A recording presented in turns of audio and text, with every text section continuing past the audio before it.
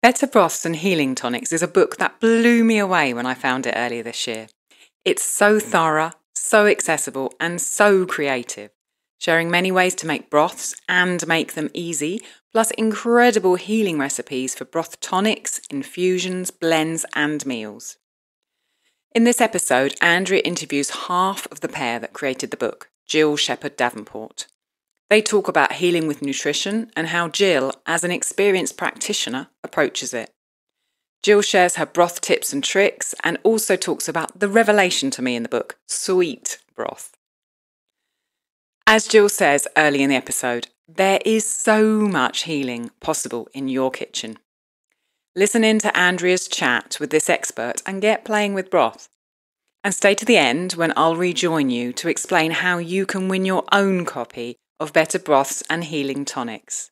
And if you're a patron, check out the treasure trove where you'll find two of our favourite recipes from the book.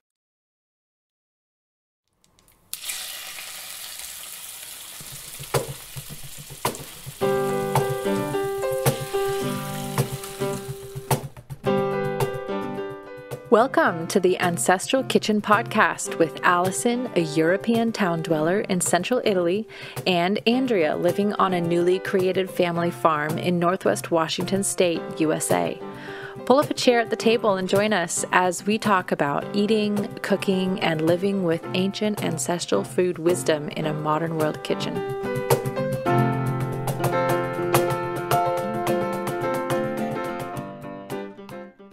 Right. Good early morning to you, Jill. How are you?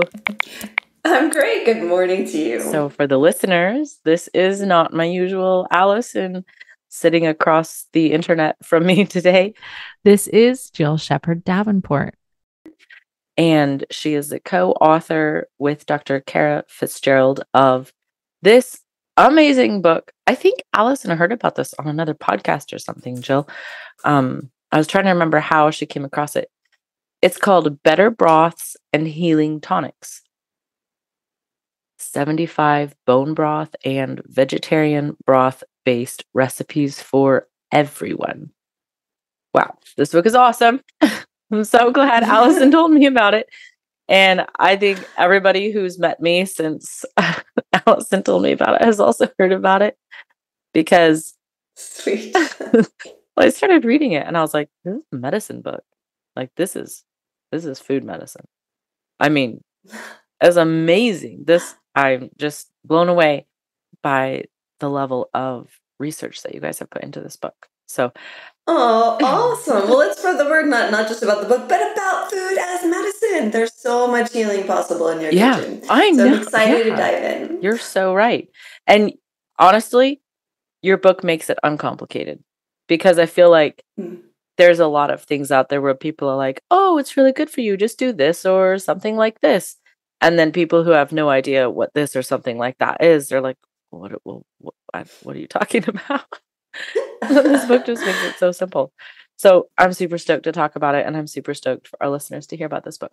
I have questions from Allison because um, she was hoping to get to talk to you, but as it turns out, they're like destroying the apartment above her. So you wouldn't be able to even hear her voice if she was on the audio. So, um, well, hi, Allison. Yes. Hi. I look forward to answering your questions. Yes, so I have her and it's, questions. it's just great to chat with you. Andrea. Yeah, awesome. So, how we start our episodes is I ask you, what did you last eat before we recorded? Ooh, okay. Uh, so I've been doing a smoothie in the morning lately, and let's see, what did I put in it? So kind of my usual goes something like this, and this is what I did this morning. Uh-huh. So I throw in a handful of wild frozen blueberries, Ooh. and I tuck in spinach and kale, a carrot, um, a few, kind of just a few uh, squares of frozen mango for just a touch of more sweet. And then I throw in acai, but the, the unsweetened real stuff, not, not the sugary topping stuff. Um, and then three t- uh, tablespoons of hemp seed hearts. I love. I'm really loving hemp seed hearts these days. Okay. It's like 10 grams of protein plus B vitamins plus about half of the RDA for magnesium, uh, omega three fatty acids. Wow, so magnesium. loving that. It's like nice. Yeah, so it's like this whole food protein powder essentially, but it's you know it's whole food, and then chia and flax goes in there, and then I blend it all together with our sweet bone broth. Oh, that is definitely one of the things that's actually on the list to talk to you about as your sweet bone broth. awesome. Oh, that's so cool. That's so I'm glad you mentioned it. Um, wow. Okay, do you soak your chia and your flax seeds first, or do they go in like like not so? How do you do that? You know, great question. It just sort of depends, and I know that that we soak, and that makes some nutrients more bioavailable and, and things like that. Um, you know, I'm often just just grinding them up really well. Nice. And here's my trick when you're making a smoothie. I find that if you first put in the liquid, and maybe everyone's doing this already, but it took me a while. Mm-hmm. I find if you first put in the liquid and then put in any type of seeds you're using or any kind of nuts, blend it up first thing, and essentially you've made your seed and nut quote unquote milk, and then throw everything on top of that. And that's the way to make sure that you're not crunching on whole seeds. Wow, So that you're getting more of the, the, the powerhouse nutrients out of them. A little hot tip for the blender verse. Hot tip. I love it. That's awesome. Um, Sure. okay, well, thank you for telling me about that. Um, your breakfast sounds delicious. If you've been around ancestral food for 10 minutes, you know liver is a superfood. You're looking at a food packed with vitamins A, K, a broad spectrum of B vitamins, CoQ10, bioavailable iron, plus many essential minerals and more. Liver is your first stop when seeking to gain energy and restore your health. Not only is it a delicacy and staple of traditional diets, it's the first thing most animal predators go for when hunting. Are you looking for a good way to work liver into your daily life, but getting it on the table just isn't happening yet or as much as you'd like? This is where liver capsules come in. Allison and I are both supplementing our ancestral diets with liver capsules from One Earth Health. We get all the incredible benefits of liver, even when we're on the road or preparing non liver meals for our family, and the sourcing and preparation has all been handled for us. One Earth Health produces nutritious organ capsules from 100% grass fed New Zealand raised cattle. Support the pod by purchasing through our link, and you'll also get 5% off and free shipping as a bonus. Go to oneearthhealth.com slash ancestral kitchen or check the show notes. I I know. Hmm. so for people listening, um, Jill and I were talking before we started recording, and we're both going on like four, four and a half hours of sleep. so this will be our best episode ever because it will be Let's talk about health and healing. yeah, and also um, let's talk about resiliency and adaptability. Like that's that's something um, I don't think I would recommend this as a chronic way of life, but for a short acute period of time, um, I'm super fascinated by how you have details in here in the book on your food on ways that it can help you um, cope with things like this. So, um, like I'm just I'm just looking at your nettle astragalus and mushroom boost, and it's like at the top you've got the little sign that says stress busting support. Just things like that That's make so this book so usable. So, um, Oh, I'm so glad. Yeah. Yeah, I love astragalus. Well, and I'll just say, Andrea, I mean, so we were joking about how we're both kind of running on, on, on fumes here. And um, and how kind of important it is to realize like we don't have to be perfect, you Mhm, know? mhm. Some nights are gonna be like that. And then if we can sort of tuck in healing nutrients during the day and shore up our resiliency, that's Yeah. great. Or maybe some days it's just quick wins and we, we can't really fuel our body most appropriately and we're getting more sleep on those days. So yeah. it's kind of just about the puzzle piece of, of, healing and getting in as many parts and pieces to fit together as we can. Right. Um, but I'm, I'm laughing because yesterday I recorded something, um, a webinar with two neuroscientists, and we were talking about the importance of sleep. And so I'm thinking That's about, oh my goodness. and, I'm, and I'm thinking about, you know, uh, how I'm doing this morning in terms of like clearing beta amyloid plaque Yeah. and getting deep in REM sleep and consolidating memories. So none of that happened last night. Gotta get those beta But- sleeps. Oh, but I did I did a super fuel with my sweet bone broth this morning. So yeah, Yeah. it's all about balance. I feel like that when we look at the human body ancestrally, that's a lot of Mhm. one of the hallmarks, I guess, of of health is that you live if you can live somewhere where you're mostly mostly having the days of wins and then you have those acute moments um, where your body systems get maybe tested or stretched a little bit. Um, but I feel like it's when those are persistent every single day. You're always a little short on sleep. That becomes such a huge problem. Absolutely, yes. Yeah, the pattern, right? If the pattern is one that isn't health promoting, that's one thing. But if it's sort of intermittent blips, that's that's another thing. And um, I think that's what you're saying. Yeah. Yeah. Yeah, yeah. And I was talking to a, a wonderful, extraordinary health uh, coaching friend the other day who was saying, you know, in school, if you're going for A's, you don't have to get 100% on every test. Even if you're going for A's, oh. that's, that's 90%, right? Wow. So, so, if you're hitting your goals 90% of the time, you're still kind of straight A living. And that's by the way, if you're hitting your goals I love it. I know. Um, and if you're hitting your goals 80% of the time, that's still awesome too. You're still kind of getting straight B's, which is great. Yeah. So, yeah. Yeah, you're on on the progress to refining systems and things like that. Yeah. I mean, yeah. we sometimes I feel like some of the um advice that you see out there is written in a world absent of the real life. And um you think okay well does anybody really have seven hours a day for that? You know? But um yeah yeah from, and you know and so oh go ahead. Well just just coming from real people you know you and dr kara being real people with real lives and saying look sometimes we get stuck in traffic sometimes we have less sleep and this is how we cope i really love that yeah, absolutely. And um, and so we really wanted to make this this book, which I know we'll get into, uh-huh. um, Better Broths and Healing Tonics. We really wanted to make it usable and doable for folks, right? So there's this whole idea of food is medicine, and you can read a whole lot about it, but we wanted to go from sort of people learning to doing, from thinking about it to using right. the, the information. And so the whole idea is to make a system for people so it can sort of be rinse and repeat mm-hmm. week after week and suddenly becomes ain't no thing, just part of the routine. Yeah.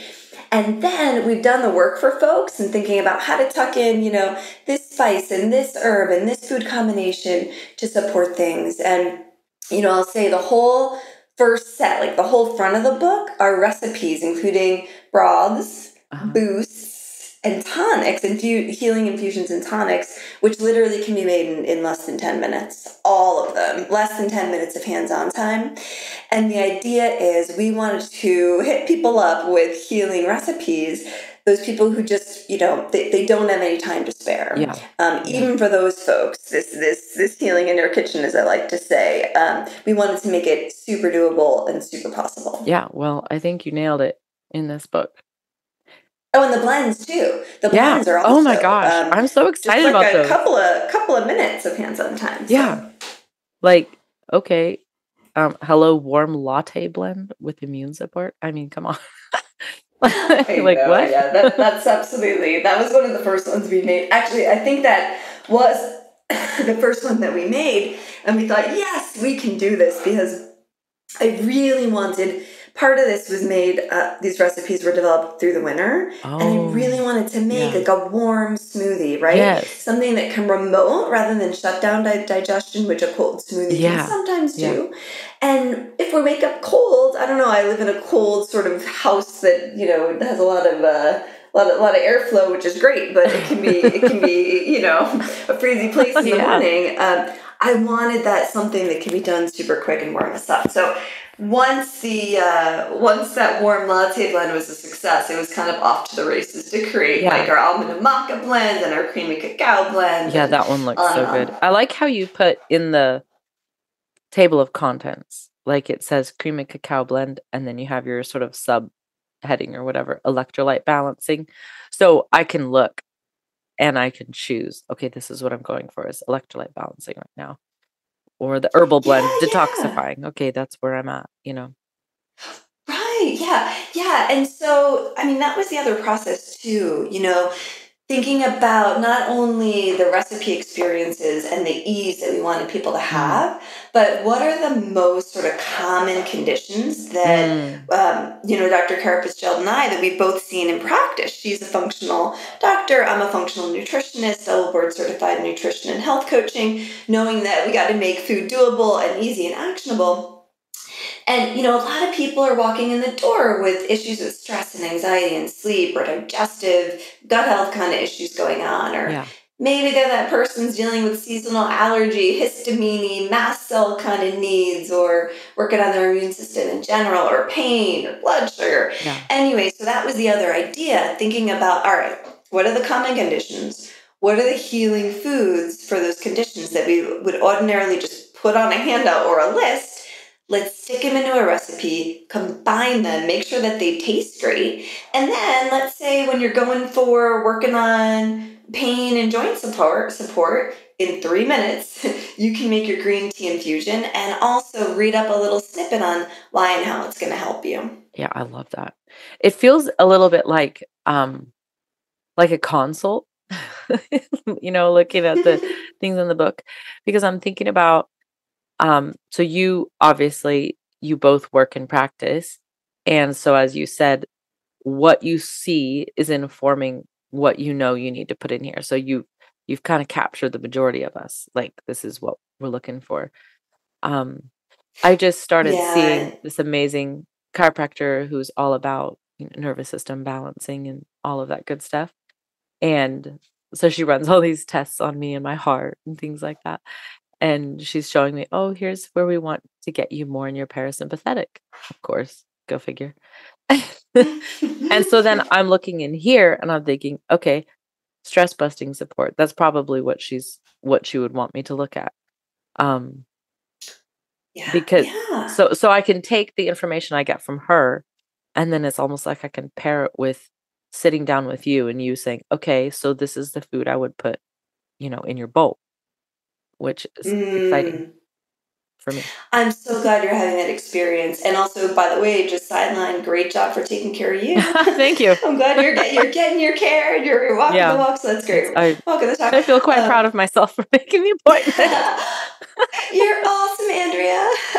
um, yeah, I mean, absolutely. You know, and so, well, so to tell you a little bit about what I'm up to right now, so I'm director of health and wellness at this great company, Pennington Partners, and there, you know, my work is with highly successful entrepreneurs. The the company supports them on their financial and business success, and I work with with these folks on their focus on their health for themselves, for their families, and then maybe, you know, thinking about what other ventures they want to get into next. And folks are, you know, highly um, motivated to make an impact on the world and do great things and also have a lot of burden. I mean, can you imagine running a company, being responsible for other people's Mhm. paychecks, a Oh lot my of gosh, other yeah. people's paychecks, making sure that the product and what you're putting out into the world and the the, the way you're you're you're um, contributing to the world is spot on and excellent. It's just a lot of pressure. And so absolutely, I love it when I when I can tell this, you know, busy executive type, hey, if you have three minutes, you've already made hopefully your bone broth on the weekend. By the way, or, or your or your vegetarian um, based broth on the weekend. 10 minutes of hands-on time. It can happen like as Netflix is sort of warming up. um, and then tonight, before you go to bed, if you're working on sleep, you know, pop in some lavender, um, infuse it in the bone broth, and you're going to get glycine. And we can talk about all these benefits, but glycine Yeah. to support sleep, lavender to support sleep, stress, and anxiety.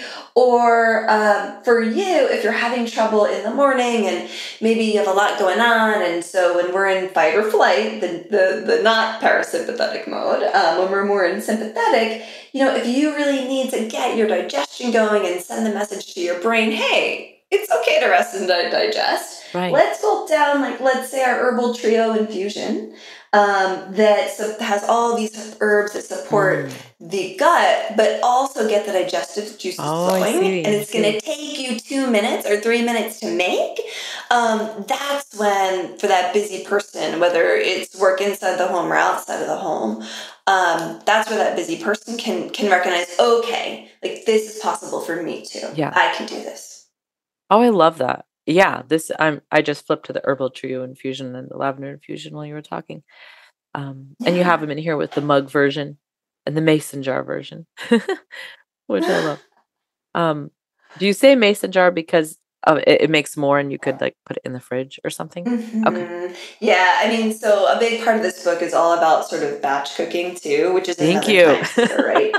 so I'm, I'm a real person too. I mean, I, I, absolutely need to batch cook to make it all Yeah. happen. So yeah, so so our infusions, uh, we give you tea bag versions, by the way. So if you just pop into your favorite Wow. grocery store, we tell you how to use those, and then loose tea for if you're making you know mugs with loose tea, Yeah. and then the loose tea works great with with a mason jar. So you have you know maybe four nice uh, cups of whatever infusion Yeah. that, that you're going to make. Yeah. Um, and then, by the way, if, if people are, some people tune in when they hear loose tea and herbs and infusion, and some people tune out and say, that's Yeah, not me. yeah. I, I need this to be, you know, simple. Um, in the book, in the resources section, I came across this awesome, basically like a strainer that fits on top of a mug and fits on top of a mason jar. Nice. It's basically like a stainless steel cup with little tiny holes in it. And it's just so easy. You throw whatever herbs you want in there, you pour the broth, and I really love sweet broth with many of our infusions. Um, you pour it over and it strains it out. You take the strainer, you flip it over. There's basically no cleanup, rinse, and done. Oh, I, I see this. We don't have to back here, deal with. like the OXO Yeah. one or the Mason top screen sprouting. well, there's those, and then there's the, I think it's Sweet Sweezy, S W E S E. think is the name of the brand. Oh, I love that Yeah, name. Yeah, you're right. I um, see that. Oh, yeah, cool. yeah. Yeah. So I, I really like it, and, and by the way, I'm not collecting any kind of cash or any. There's no promotional. They- In the back, they're all just the links to all the yeah, brands you've got that a basically we use to make the book. You've got a lot of links in here. Lots of good stuff. Um, you know the the Mason screen sprouting lids. Um, I have Yeah. some sprouting screens, and I got because we usually we put our milk in half gallon jars, and yeah. so I got this um handle top pouring top that you can screw onto the top of a mason jar like a half gallon and pour out of. And then I realized that I could put the screen on first and then put the pouring top on. I don't know if this makes any sense. So then I like stuff the jar full of herbs and things and I can pour my water over it and then just strain it out as I pour it. so handy. Nice. No. So handy. It, it's all about the technique sometimes. No, smart. Literally. I, I think it's great. You- You know, I, I had a similar moment, should I tell Yes. you, in, in making this book. So I was also, so, you know, picture this, right? So experimenting with different ways to make broth. So by the way, you can make it in your Instant Pot or your pressure cooker. You can make it in a slow cooker. We also teach you how to make it in your in your oven, kind of with a stovetop method. So, uh, you know, however you like to make your broth, you do you. And so can you imagine, it was one night after sort of Jill's gonna multitask and I'm gonna make Uh-uh. broth three different ways. Anyway, I'm sort of distracted as I'm trying to organize to get to bed. And I'm pouring the broth through the strainer, and like half of it goes down the drain, Andrea. like, what did I just do? And by the way, there was a astragalus in this broth, No. which is just precious, and I love it. And you know, I mean, I get we we uh, we show people in the back Mountain Rose herbs. You can buy Yeah, it in bulk, yeah. really, really much better price um, than just kind of walking in other places. But anyway, it's still an investment. It Goes down the drain. Oh. And then I have this aha moment. There must be out there a nice stainless steel uh, pot with a pouring spout. so that is in the back of the What? book. I really encourage people to get a, a yes to Wow. get a stainless steel pot with a pouring spout, pouring spout, and I, I've I've basically barely lost a drop since. Oh then. my So it's all gosh. about the technique. So yeah, when so true though. When you think about things from a lean efficiency perspective, then you think, okay, how many items did I touch to make this happen? How many times did I pick them up and put them down? And which of those steps could just go away? Because at the end of the day, Mhm. then you're Yeah. washing them all too. you gotta wash all Yeah. those dishes. Oh, that's awesome. yeah, I love it. yeah. I love it. And this is this is the value of having um for anybody who's not familiar with the way w- the world of publishing and food goes. This is the value of having books written by real people who are actually doing it in their houses because their true experience comes in, you know, this isn't like a you know, AI generated recipes or something. Do you love oats? Want to try your hand at a traditional Scottish oat fermentation? Sowans is just that. It was made in Scotland for centuries and will give you both a creamy, easy to digest porridge and a tangy probiotic drink. My video course, Sowans the Scottish Oat Ferment, over at the Fermentation School, will guide you through everything you need to know to create these two ancestral foods in your own kitchen, no matter what equipment you have. Head to ancestralkitchen.com forward slash Sowans, ancestralkitchen.com forward slash Sowans, S O W A N S, or click the link in the show notes to get a 10% discount automatically applied.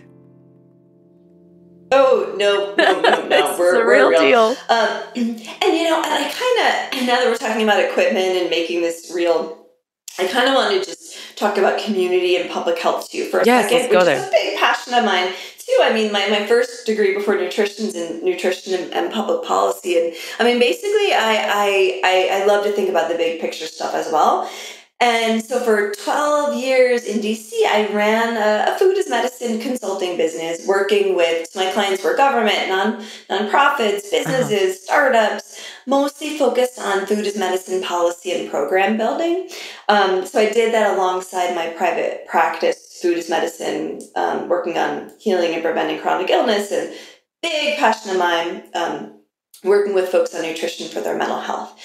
So, doing the community work, I would often go into places, hospitals and community health centers that were just low on resources. And they would say, you know, this food as medicine stuff is great, but we just we, we don't really have a budget for this. And I would say, you know what? One, like, do you have a pot? They would say, yeah, we have a pot, whether it was a pop-up kitchen or kind of a larger kitchen. Awesome. Do you have a knife? Yes, we have a knife. Okay. Do you have a cutting board? Yes. Okay. You can use food as medicine. Oh, I love and it. You don't I need. You don't need. Oh, but you, and you need a heat source too. and in some of those places, by the way, the heat source wasn't even an oven. It's um, what are those called? These uh, convection burners. Yeah, I love you those. basically just plug yeah. in and put it. So literally, and when I was working at the um, Washington D.C. VA hospital, for instance, in creating some of this programming um, we literally had a pop up kitchen, and the kitchen was brought to you on a cart. Oh essentially, and just so it, it doesn't take much. I mean, yes, I'll talk about you know I, I do love my instant pot. I do love the the um, Vitamix that I have with the stainless steel. Um, uh, kind of outfitted it with a Breville stainless steel canister so I can make my hot soups and stuff. Nice. So there's benefits to that, but you can also do this with basically a pot, yeah, a knife, yeah and a cutting board. I mean, this is peasant food. This is this is as old as it gets.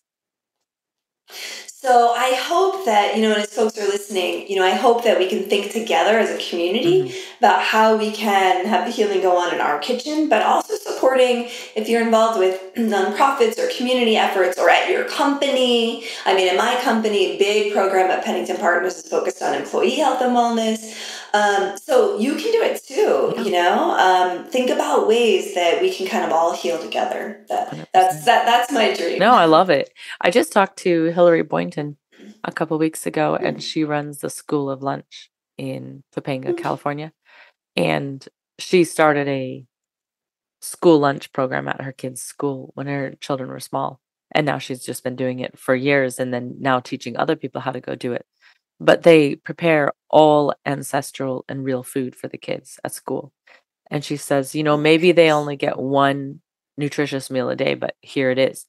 And they do the most amazing things and the kids just eat it. She goes, the kids get so adventurous and the parents say they'll they'll never eat those weird, you know, organs or whatever, but the kids do eventually. And she had mentioned bone broth was what they serve, you know, often for like the midday snack, little cups of bone broth. So that was such a good idea because it's a good protein hit. Oh my! Think about those kids' brains and everything. And that's amazing. Go, go her and go moms. That, yeah, that's just yeah, that's mom power for real. mom power. I think yeah. it's great. You know, and then you know this this is just also making me think about. I mean, in terms of systems change okay because those kids they're going to concentrate better Mhm. Yeah. they will hopefully be able to sleep better be able to wake up easier and and again if it's you may have covered this at length uh, uh, in other episodes but we can talk about the healing properties of, of bone and, and plant-based broths We too should. and um, and you know it's gonna it's gonna keep kids in their classroom more and when we pop over to think about the adult side you know using food as medicine there's cost savings for companies there's Yeah. cost savings for insurance 100%. plans there's, there's just there's so many when we think about around 70 80 to 80 percent of the chronic diseases we face in this country are preventable through diet and lifestyle Wow. i mean we're, we're talking Seventy about to eighty um, just- percent. That's crazy. yeah, we're, we're talking about we're talking about massive potential for change in this country, and I love where we are right now with the food as medicine movement. Um, how it's really making its way into insurance companies and insurance plans, and there's programs now, and there's um, Medicaid pilots and some focus on Medicare too as well. I believe that's focused on like health equity and health access and lowering costs and improving outcomes for like a few specific diseases Wow. like um, like kidney disease and Uh-huh. diabetes and cardiovascular disease and hypotension, hypertension and needs of the elderly. So, I mean, we're getting there, I think, um, in terms of making all of this accessible and making this kind of conversation just ain't no thing. Like, this Yeah. is normal. Of This course, is you how we- think about this is how we using- do it. Using food. Right. Yeah. This- this, this is, how is- you do this it. is where So, your- Absolutely. your ground up efforts like with this book getting it into people's homes is going to have that massive ripple effect because if you know the, the way we live our lives does affect the way our policy is conducted in the workplace and if every single person was eating this way they're not going to go into their you know management job at an elder care place and say all right hand out the jello cups you know what i mean they're going to say we need to be putting some really nutritious bone broth in front of our in front of our you know patients or whatever um Oh my gosh, so true. I mean, having this be front and central in hospitals, and by the way, the city of New York is doing a great job with that. No they're, way. They, they, yeah, they're they're literally having food as medicine type, you know, based menus with lots of healing, you know, Nice. um, as as as the sort of the um, the mainstay of certain, uh, you know, hospital diets. it is Um, so remarkable New York is really paving the way. that's there. amazing Yeah. it it it is remarkable to me when you just go back through narratives and letters and journals and things how little time it took for us to completely abandon the idea of food as medicine because it was i mean it's still within living memory when it was a matter of course to dose people with food Mhm. and already we're at the point where some people are like, oh, that's alternative or that's woo woo or whatever. And you're like, it's not really. It's just science. it's just food. Yeah, yeah. And I mean, I think part of it is that we have so many convenience foods out there. Oh, and, good point. And we talk about this in the book too, like walking down the grocery store uh, aisles. It's kind of like um, walking past landmines. I mean, of course, Oh landmines are much more serious, but we're walking down the grocery store, store store aisle, and there are just so many things to like have to avoid and jump Mm, over and skip yeah. around, and and uh, it just it makes it really hard for the shopper. And uh, you know, I say something, we say something like, um, you know, what? Why would we eat all these foods that that literally take away from our health and well being? Like, would we buy a computer that when we're touching the keyboards it zaps us, right? or would we buy sneakers that when we wear them they like we can't run in them or, or they make our feet feel really uncomfortable and swollen? But yet, so many of us, and maybe not your audience, but you know, so many of us are buying foods that like make us wake up with you know pain and aches Oh, and um, you know and less energy and lower our immune system and make our brain work less. And we're Yeah. we're paying for it on the front end Yeah. with the food and the back end with our healthcare and our time. Yeah. And so um, I really think it's about um, just kind of awareness and doability, as, as we've talked about, Do you so think? that we can choose the right things for us. Yeah. Absolutely. And do you see in your practice, do you feel like a lot of people, uh, because you, you said we wouldn't do these things, you know, like we'll wake up feeling sick or whatever. Uh, well, mm. I don't know that a lot of people even relate that to their food because it's all they know. Like they just think that they feel this way.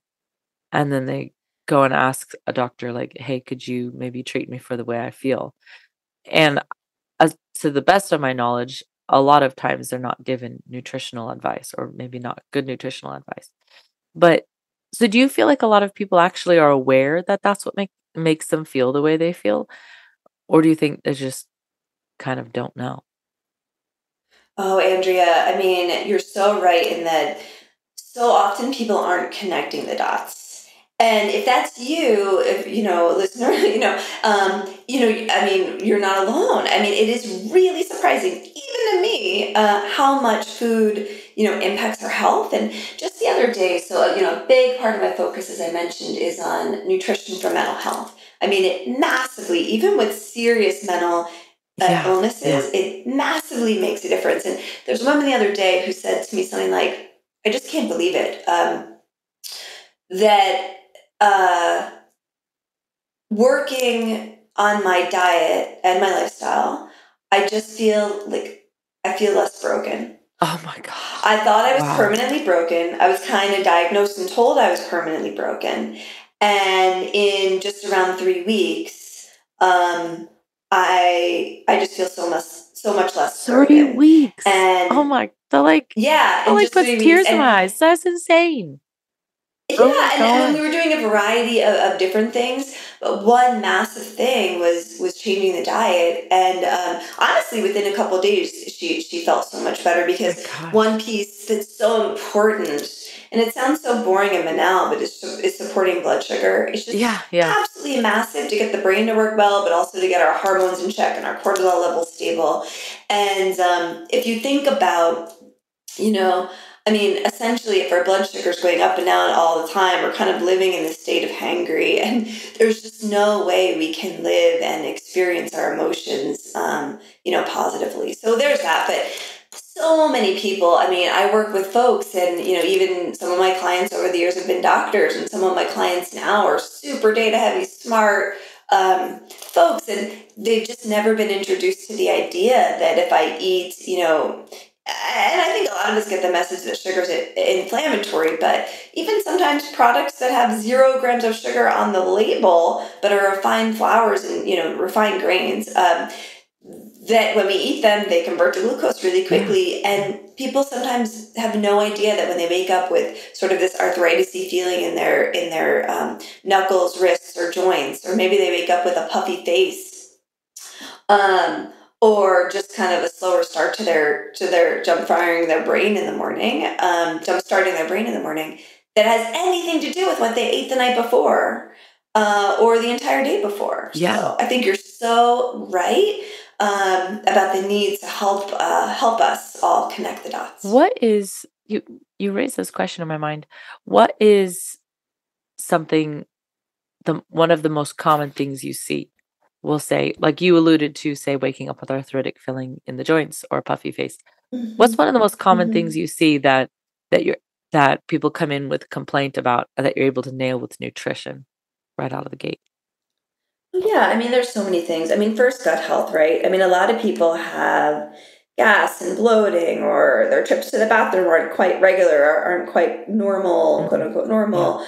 Um, and sometimes they'll be like, and then also, by the way, I have this eczema that came on, um, or this kind of itchy skin, um, and I have these aches and pains. Uh, do do you think this has anything to do with my diet mm. um, and so you know we we we talk about how it could and so for some folks it might be appropriate to do an elimination diet for some period of time taking out the common offenders and then shoring up their diet with the foods like we have in better broths and healing tonics and then what, what I do is give them uh, symptoms to look out for to see what goes away. And then when they go back and experiment and eat their usual diet, see what, what symptoms are brought on.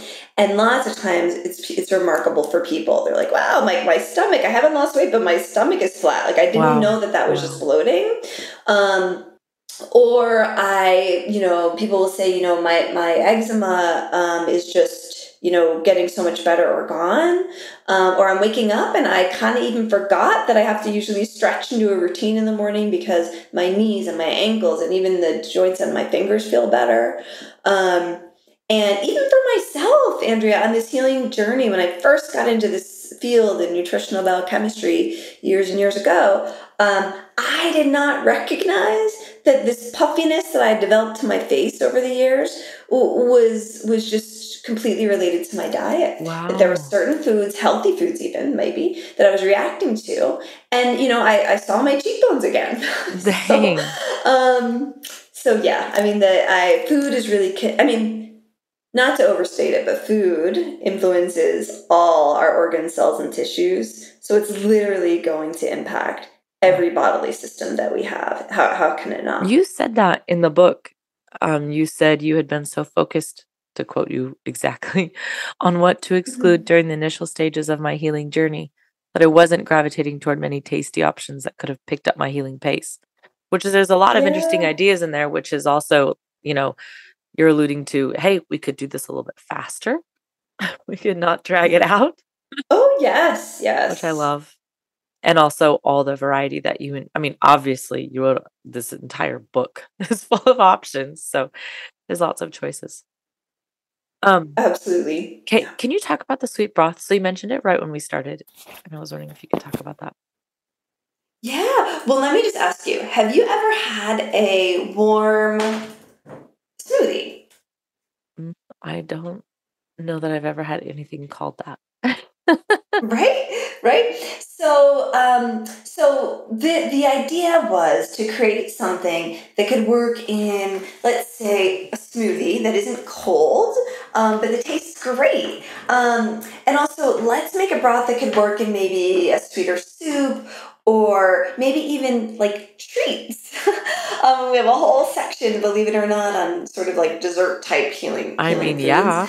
um, so, so basically, um, where our team we created this really rather delicious broth, and it's got cinnamon and cloves and nutmeg, and it's got orange peel and carrots and apple and sweet potatoes, and it's not like sugary sweet or anything, um, but it works great in our sweeter blends and also in our sweets and treats. And, um, you know, it's got in there uh, choline and B12 and folate as methyl donors um, to support, you know, our healthy longevity, which Dr. Kara Fitzgerald's work is just so centered around. Um, it's got DNA methylation adaptogens that supports sort of aging healthfully instead of aging into disease and warding off chronic diseases.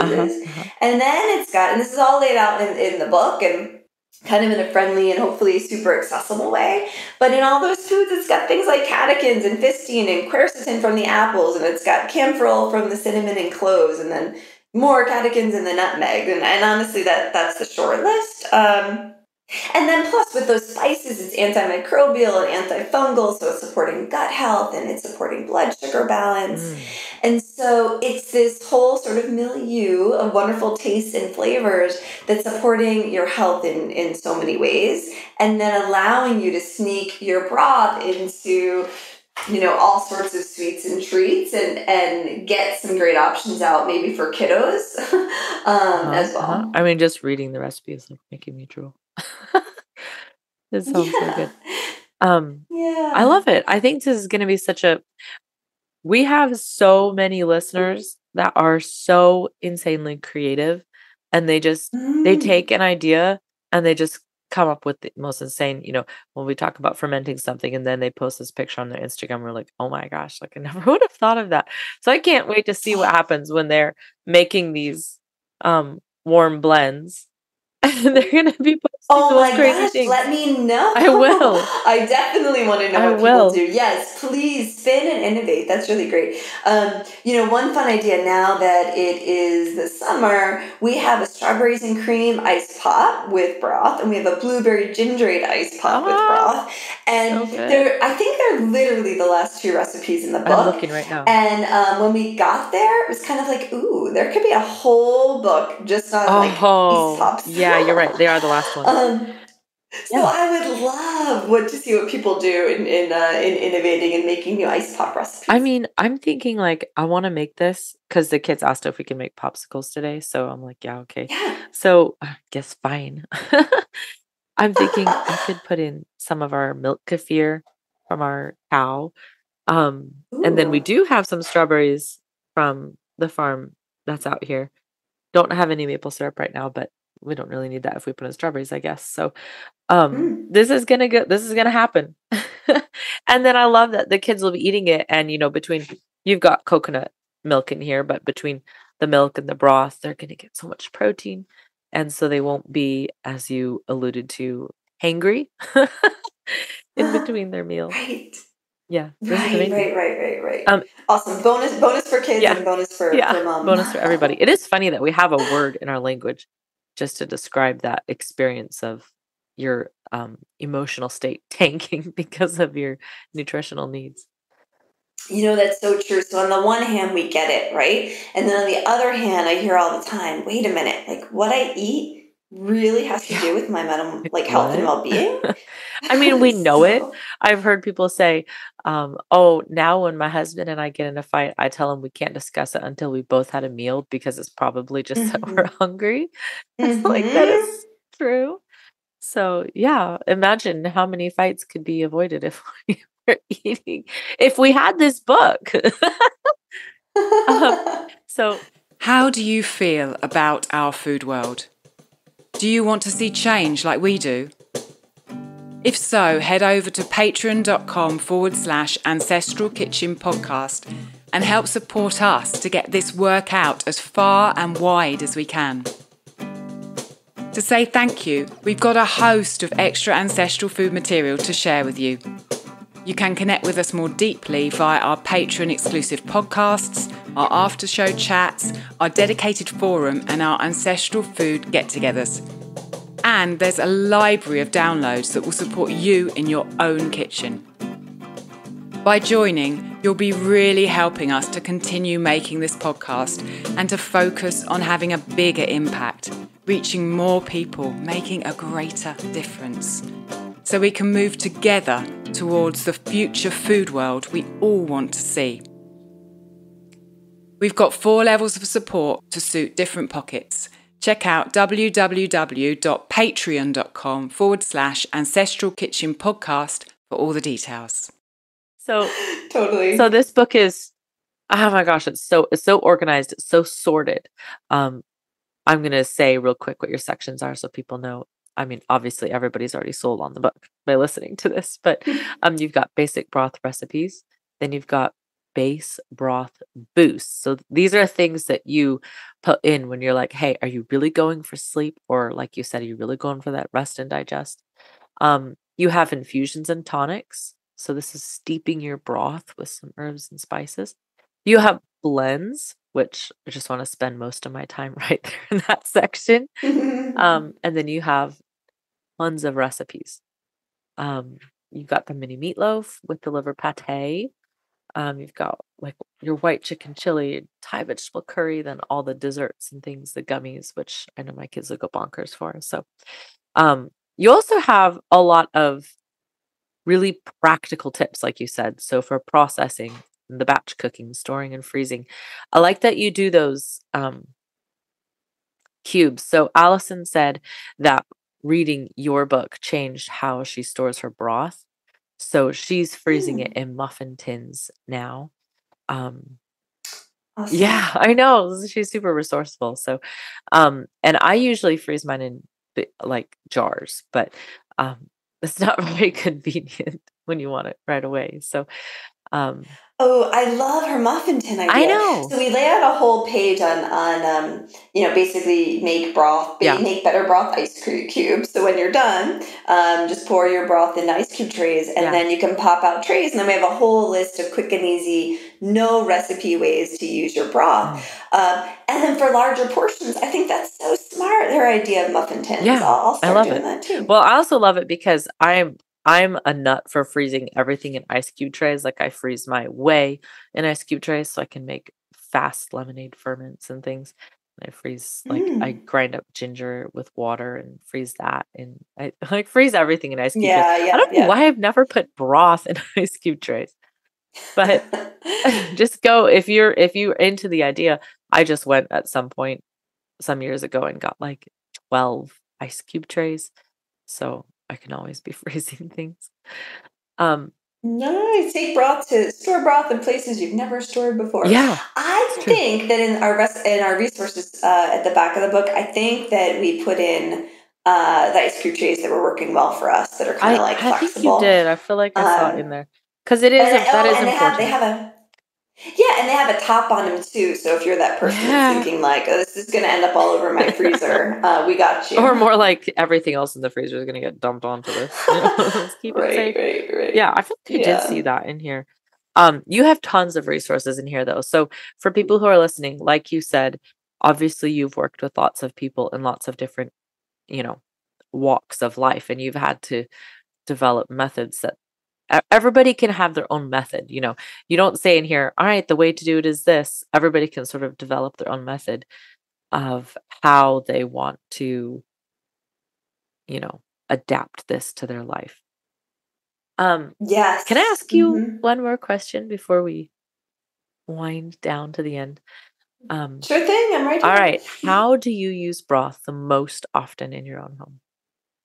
Oh, well, um, pretty much every morning I'm making a smoothie, or in the winter I'm making a, a blend. And by the way, when I when I drink them and eat them, I'm chewing and making sure I'm getting my digestive Uh-huh. juices flowing. That that really um, is important, I find, for me and for folks.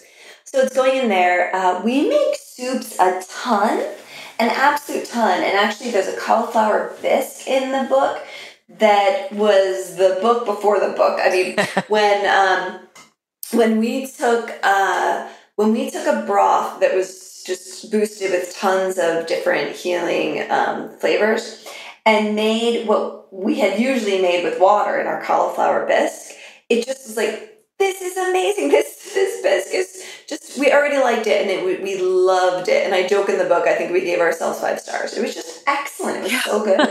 So um, what I love is once you have a broth, you can you can follow our recipes. but You can also just take a lot of different ingredients in your um, a lot of vegetables and things from your fridge, and then um, you know boil them in the broth, and then blend it up, and you've got a soup. And you know, so anyway, so I absolutely love uh, making soups with broths too. But then, I mean, we're grabbing the the broth if we're cooking oatmeal or something like that, or we're grabbing broth if um, we're making a stir fry and we've got a chicken and vegetable, super easy and quick stir fry uh, recipe in the book. Um, but yeah, really, it's going into everything. I, I'm Yeah. often drinking broth as like a tea, you know, so Ah. just warming it up and um, and then throwing in some herbs like we do um, in our infusions as well. So Nice. I'm doing it all the time. And I will say, I personally love making some bone broth and some plant based broths so that I'm balancing out and just getting all the different kind of nutrients I need in my diet. Uh-huh. So maybe over the weekend, I'll make a sweet and savory and I'll make a, um, a bone and a plant based. And then you just can infuse it through your dishes uh, all week. And really, that's the concept of, of the book. I love it. Um, I thought of another question while you were talking. you made Bring me it. think of another question. Um, okay, so let's say the person listening is a mom with a couple kids. She's always living in her sympathetic because her kids are always jumping off of things. um, Yes. she's driving around and doing things. You know, she's got the hustle down, but but she's just living in a heightened state. Let's just say that's the average person because I'm I'm describing me. Okay. okay.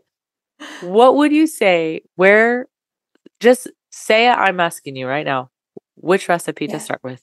Give me one or two.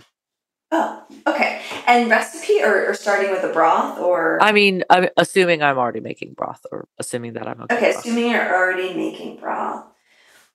What would I say? Um I would say start with something that takes under 10 minutes. So what I would do is first actually the easiest simple thing when you're making your broth, I want you to just think about the kinds of things you can throw in that aren't going to take you any more time. So maybe turn to our turmeric, ginger, and spice boost, Ooh. which is our immune and anti-inflammatory uh, support broth. And um, this broth, actually, if you use it in well, well, like actually all of our boosts, if you use it in your meals, you're getting um, all of these nutrients that support healthy longevity. Um, and just as a, quick aside right at the end here, you know, we designed these new these these recipes to work with Dr. Kara Fitzgerald's Younger You program, which is about turning back bio age. So I say that. Yeah, I was for that so busy mom whose fascinated by that. Yes, yes, it's absolutely wonderful. Um, and there's more at youngeryouprogram.com about that. And she's Okay. got her her whole book called Younger You. So if you if others are interested, check it out. It's really awesome and you can use this book to really support your younger you turning back your bio age clock journey. Um, so so for that that that, parent who's got their kid kind of jumping up the walls and they wake up and they're stressed and they feel like we're aging and we're growing older and getting gray hairs at every Yeah. moment um, turn to our turmeric ginger and spice boost and you're going to be throwing in some cloves some star anise some cardamom some turmeric some ginger just throw it in literally just takes a minute if you've got them right there um, and you're going to be getting all of these nutrients from it it's anti-inflammatory it supports the immune system. When your kids are coming home and bringing home germs or something like that from school, it just shores you and, and the whole family up. I so, so that's one thing that I would do. And then, and and you know, literally just just takes a second to do. But if you have like five, ten minutes, then going back to our warm latte blend, which is also an immune support, um, in just about five minutes, you can put it in your blender and make that. So what you're going to do is take that broth or take that boosted broth with the turmeric and ginger and all those spices, and you just throw in some apple, like whatever kind of you know milk uh, of your choice. And I like to use almond milk a lot in this one, and throw in. Don't even worry about like super precise measurements. Some flax seeds, some pecans, some ginger, um, and some additional cinnamon and clove. It, it took our team, we say hands on time for this is 10 minutes, but really, once you make it the first time you know what you're doing, it's like a five minute thing. And here's the thing too. You don't even have to put it on your stove top if you want to like heat this up into a warm latte. You just put it in your blender, high speed blender, keep the lid on real tight, and then we have a quick method in the book where you just blend it and heat it as it's blending. And in five minutes, you have this warm loveliness, Yeah, in five minutes, that's enough time to unload the dishwasher. right? so you can turn it on and just unload the dishwasher. and well, while it goes. yeah, so I would do it. And then as you get excited and confident about the ease of doing this, then maybe I would transition to soups, which are almost just as quick and easy. it's just Yeah. a, it's just a soup as Yeah. opposed to a blend. Yeah. So go there next. Oh, I love it. This is so fantastic. And um, I think it's going to be really wonderful for everybody listening and um, Allison and I already enjoying. Um, where can we find you and where can we find Dr. Kara? Where is good places to follow you and, and learn more from you guys? Because you guys have the goods and everybody wants them.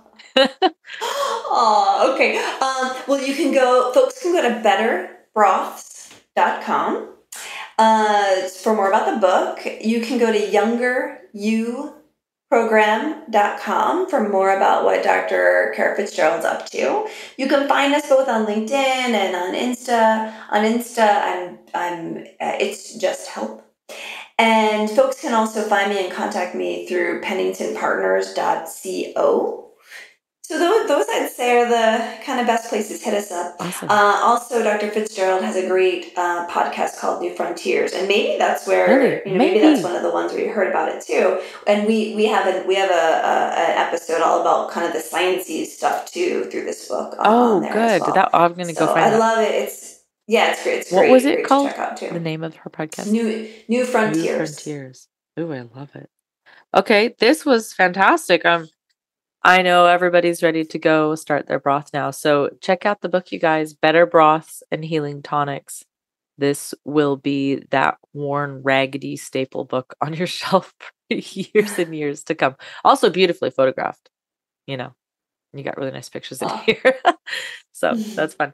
Well, thank you for doing this interview with me. This was awesome. And I know Allison wished she could be here, um, but I'm glad that you were able to answer all of her questions and she was here in spirit. So thank you very much. Sure. Glad to be here. Thank you, Andrea. Yeah. Thank you, Allison. Just loved being with you. You have a great morning.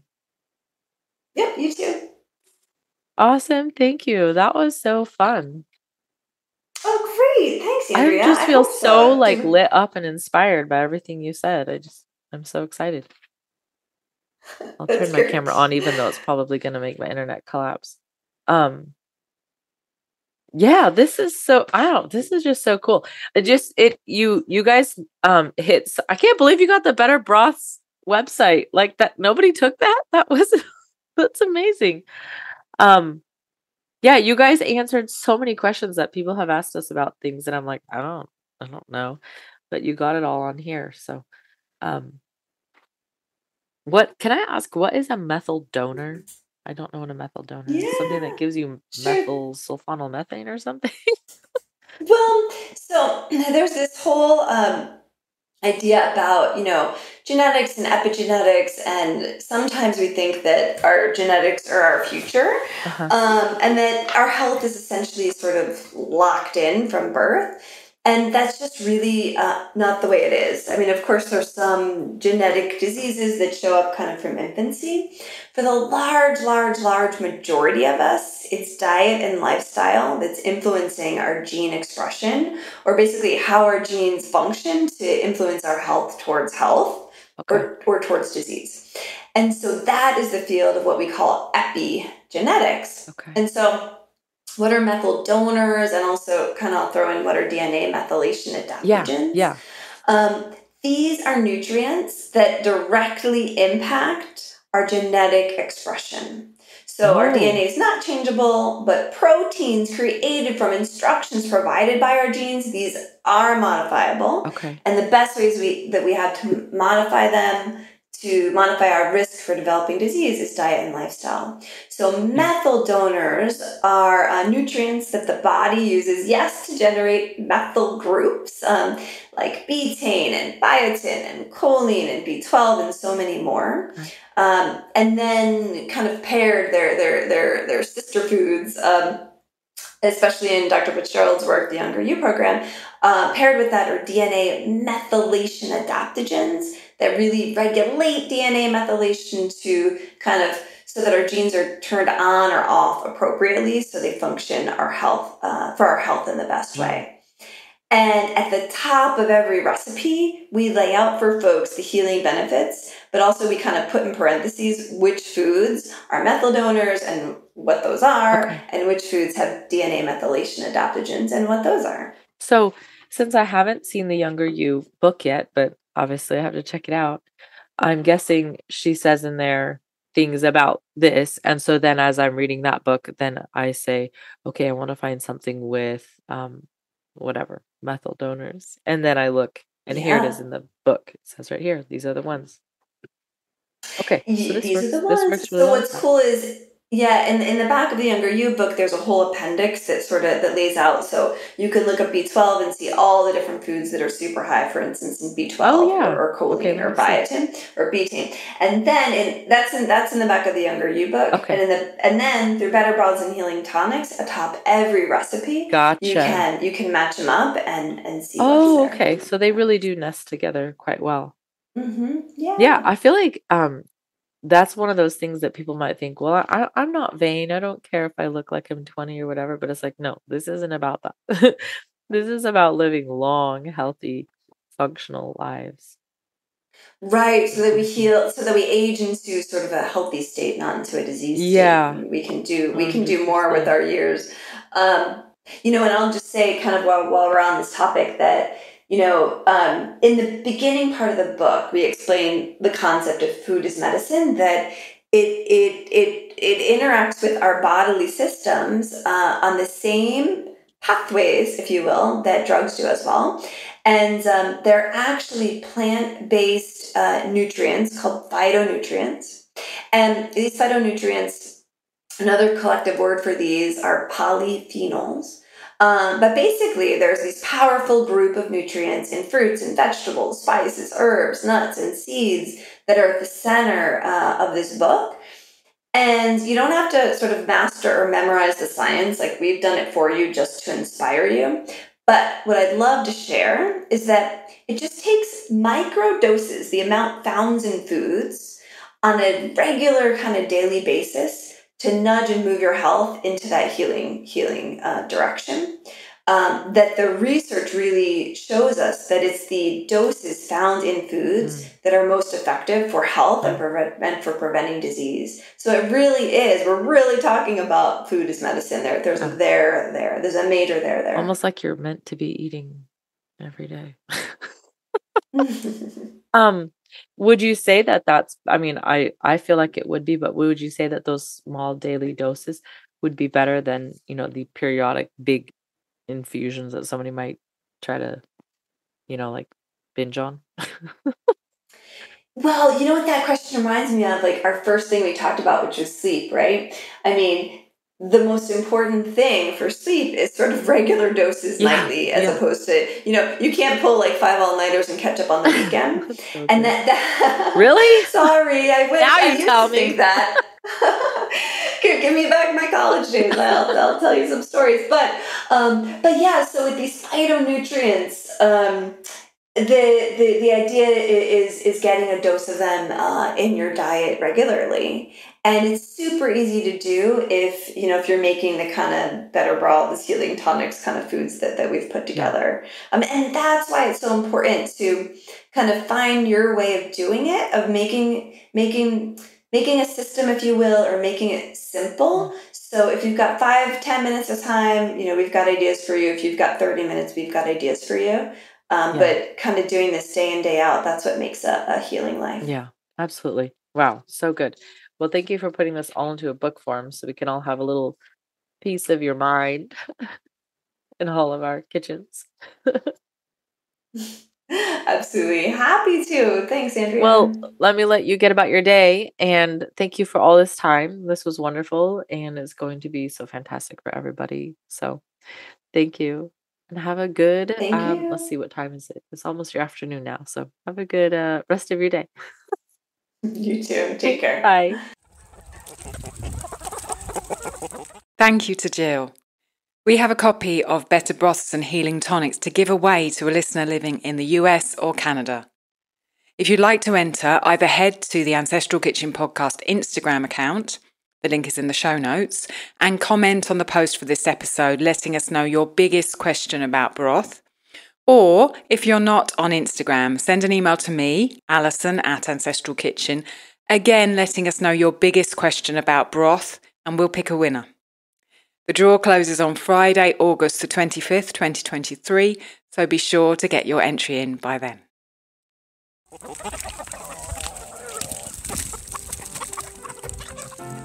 Thank you so much for listening. We'd love to continue the conversation.